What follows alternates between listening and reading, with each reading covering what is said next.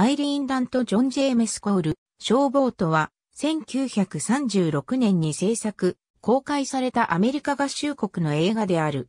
ジェローム・カーン作曲、オスカー・ハマースタインに制作しのミュージカル、消防との映画化であり、ジェームズ・ホエールが監督、アイリーン・ダンとアラン・ジョーンズが主演した。ニューヨーク初演当時のオリジナルキャストであったチャールズ、ウィニンジャー、ポール・ロブスン、ヘレン・モーガンも出演している。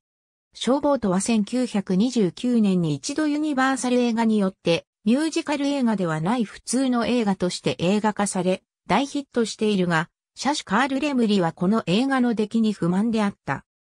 1935年、当時ユニバーサル映画の社長であったカール・レムリ・ジュニアは、ミュージカルのオリジナルキャストを起用しさらに贅沢にリメイクすることを計画したが、制作費の思わぬ超過によって、ユニバーサル映画の資金繰りは行き詰まり、レムリ家は銀行などの手によって、ユニバーサル映画から追放されることになった。